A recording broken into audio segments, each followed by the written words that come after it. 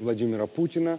Да, наш эфир к ним не доходит. Я надеюсь, через интернет или как-то люди нас услышат в Российской Федерации, в Крыму. И я, вот у нас аудитория, рожденная в Украине. И я перед вами делаю то, чего я никогда не делал. В 1948 году Генеральная ассамблея Международной медицинской ассоциации приняла декларацию, которая по существу есть клятва Гиппократа. Я эту клятву переделал немножко, изменил три слова. Три слова мы с российскими коллегами можем обсудить. Я хочу, чтобы все мы, мы журналисты украинские и российские коллеги эту клятву приняли. Мы в войне. Не надо думать, что мы на грани войны. Мы реально в войне на территории России и Украины. Да, есть война. Поэтому я произношу клятву сейчас. Она клятва Гиппократа, но она клятва журналиста. Для меня.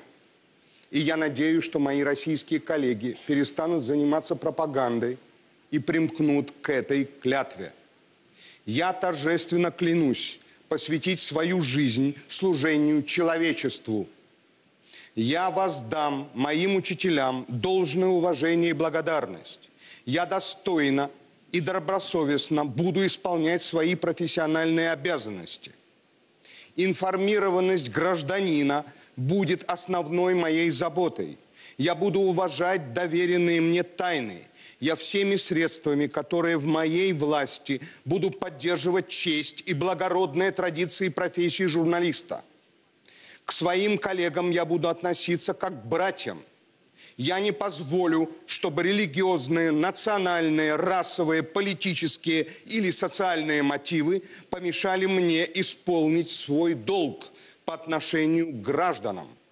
Я буду придерживаться глубочайшего уважения к человеческой жизни, начиная с момента зачатия, даже под угрозой, под угрозой, повторяю, я не буду использовать свои знания против законов человечности – я обещаю это торжественно, добровольно и чистосердечно.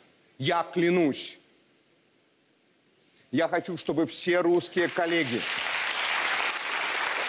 я хочу, чтобы все российские коллеги присоединились к этой клятве. Не на одно слово меняйте, два слова меняйте, но к этой клятве мы должны все присоединиться. У нас, товарищи, друзья, война. Это нельзя допустить.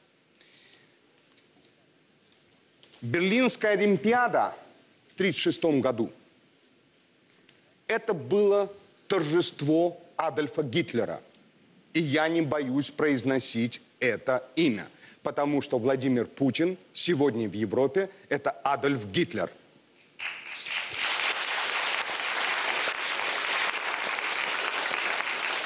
Адольф Гитлер – несмотря на то, что ему самые ближайшие советники рекомендовали не торопиться, не брать Австрию, не присоединять Судеты, не нападать на Польшу, потому что все было нормально и развивалось нормально. Адольф Гитлер им сказал, нет, торопиться надо.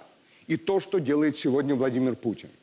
Крым – это и Австрия, и Судеты вместе, а Украина – это Польша – вы собираетесь занимать Киев? Я вам задаю вопрос. Вы собираетесь оккупировать Украину? Я вам задаю вопрос. И что дальше?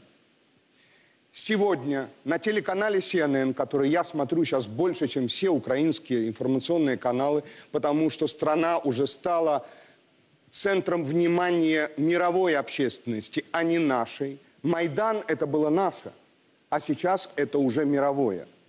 Генерал Уэсли Кларк сказал такую вещь, и вот в чем Адольф Гитлер отличается от Владимира Путина. Адольф Гитлер не был миллиардером. И генерал Весли Кларк сказал, господа немецкие банкиры, где эти 40 миллиардов господина Путина? Вы понимаете разницу? Люди, начинают войну за собственные миллиарды. Не за идею. Мы можем не разделять идею. Или разделять. Разные есть люди. Разные есть взгляды. Мы все уважаем. Но воевать за собственные миллиарды на нашей шкуре этого не будет.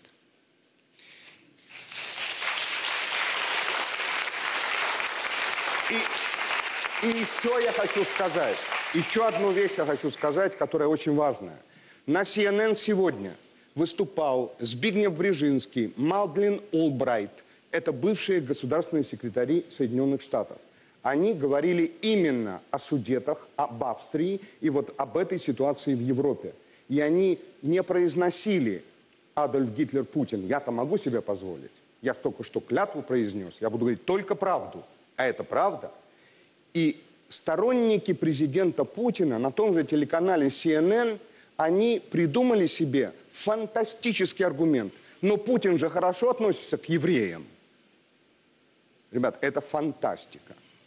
Это вообще, да, все вероисповедания, монотеистические, мусульмане, христиане, евреи, другие люди, которых уничтожал Гитлер, гомосексуалисты, цыгане, они все равны перед законом, мы все граждане одной страны. Как можно сегодня да, приводить аргумент в пользу Путина, что при нем евреям хорошо? Это же ужас.